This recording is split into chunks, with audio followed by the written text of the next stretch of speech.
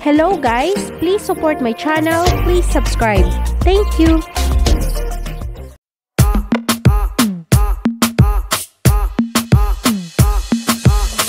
Kamusta yung 17th birthday ni Francine? Ano ang nangyari? Paano mo siya binate?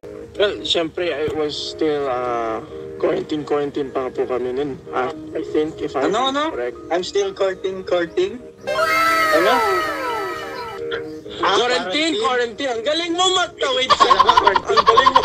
Kahit na anong sabihin ng iba Thank you for watching my video. Please support my channel, please subscribe. God bless.